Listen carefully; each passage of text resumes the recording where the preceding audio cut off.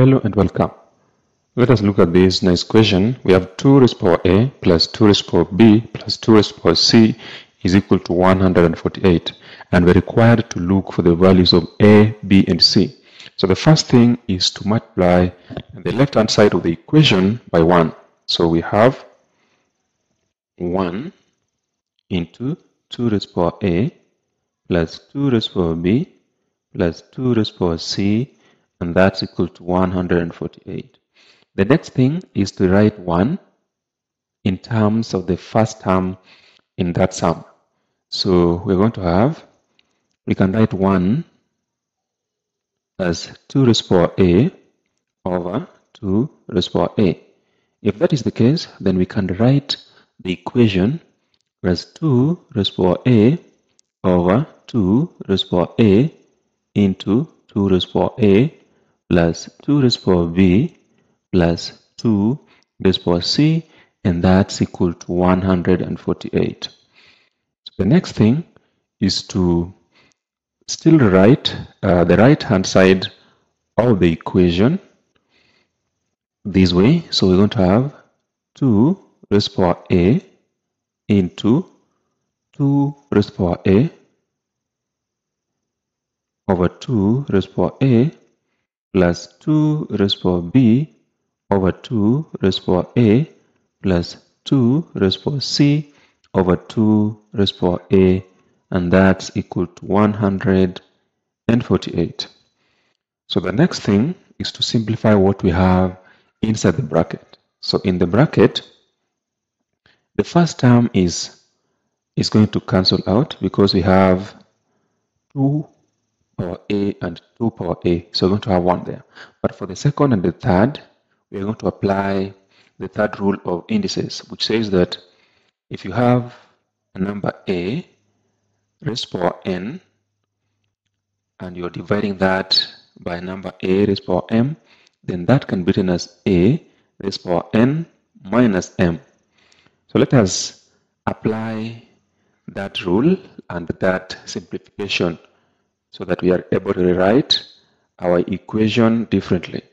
So we're going to have 2 raised power a into 1 plus 2 raised power b minus a plus 2 raised power c minus a and that's equal to 148. So if that is the case, then now we have a product of two numbers that uh, equals 148. So we have a product on the left hand side. So we can also write uh, the number in the right hand side as a product of two numbers. But because the first number on the left hand side is to a base 2, we are going to make sure that the first number in the right hand side can also be written as a base 2. So that number, we can take it to be 4. So let us use 4. So if we use 4, we have 2 raised power a into 1 plus 2 raised power b minus a plus 2 raised power c minus a is equal to 4 times uh, 148 divided by 4 is 37. So at this stage, what we need to do is compare the right hand side and the left hand side in terms of the first and the second uh, terms. So on the left hand side, we can compare 2 power a with 4. So if that is the case, then we have 2 power a is equal to 4. And the other one, we can take the whole of this sum as equal to 37 so that we have 1 plus 2 over b minus a plus 2 over c minus a is equal to 37. So for the first case, we can write 4 over base 2 as we said before. So we have 2 raised power a is equal to 4 can be written as 2 power 2. So these two bases are the same, that is 2 and 2. So it means the powers are also the same. So we have a being equal to 2. So we have the value of a as our first solution. So let us now uh, work on the other side of the, of the equation. So we can move 1 to the right hand side so that we have 1, not 1, but if we move 1 uh, to the right, we're going to have 2 power b minus a plus 2 power c minus a is equal to 37. We move 1 to the right, it becomes minus. So now, we can still simplify this equation because now we have the value of a. So we can write this as 2 raised power b minus a, but a is 2 plus 2 power c minus a and a is 2 is equal to 37 minus 1 is 36. so now we can edit the right hand side of this equation using the third law. Remember what we said, if the bases are the same and we have a difference in the power, it means it was the first one over the second one. So we can write this equation as 2 power a not power A but power B sorry this is 2 power B over 2 power 2 from the third law of indices plus 2 power C over 2 power 2 is equal to 36.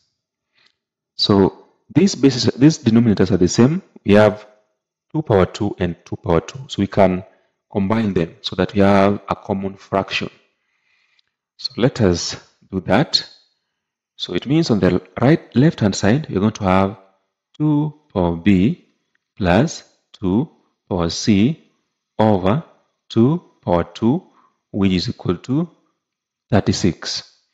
Remember, 2 power 2 is 4. So we can as well say that this is 2 power b plus 2 power c over 4 is equal to 36. At this stage, we just cross multiply. And when you cross multiply, we have 4 times 36, which is 144. So what we have is 2 power b plus 2 power c is equal to 4 times 36, which is 144. So at this stage again, we can rewrite the left-hand side of the equation by multiplying it by 1. Remember, multiplying number by 1 does not change the original value. So we can write this as 1 into 2 power b plus 2 power c, and that's equal to 144. So we can write 1 in terms of the first term in that sum. So 1 can be written as 2 power b over 2 power b. So if that is the case, we now rewrite our equation as 2 power b over 2 power b into 2 power b plus 2 power c is equal to 144. So let us now uh, again edit uh, the left hand side of this equation.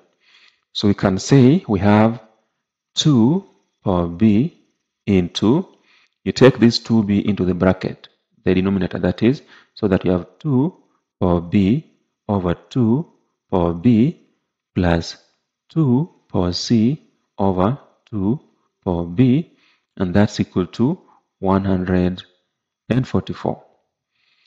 Now we can simplify what we have in the bracket.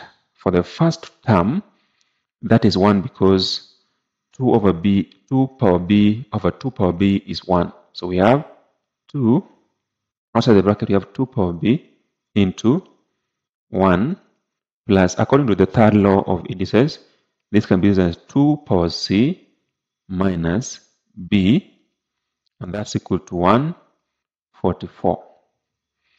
So we can now again notice that we have a product of two numbers on the left hand side, that is equal to 144. So we can also write 144 as a product of two numbers, but we make sure that the first number in that product can be written to a base 2. So uh, the one that can be written to a base 2 uh, is 16. So we can write this 144 as, we can write 144 as 16. 16 goes into 144 nine times. So let us use this. So now we have 2 power b into 1 plus 2 power c minus b is equal to 16 times 9. So again, we can compare the products in the left-hand side to those in the right-hand side. So the first one, that is 2 power a, can be equal to the first one in the right-hand side, which is 16. And the second one, that is 1 plus 2 power c minus b, can be equal to the second one in the right-hand side, which is 9.